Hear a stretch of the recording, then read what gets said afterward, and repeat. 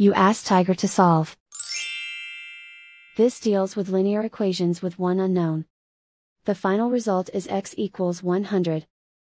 Let's solve it step by step. Swap sides. Isolate the x. Multiply both sides by 140. Group like terms. Multiply the coefficients. Simplify the fraction. Multiply the fractions. Simplify the arithmetic. And so the final result is x equals 100.